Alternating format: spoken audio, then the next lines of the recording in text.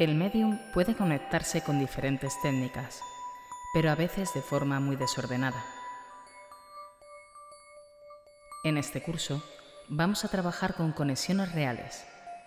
Las analizaremos desde nuestra propia experiencia y os enseñaré a ordenarlas.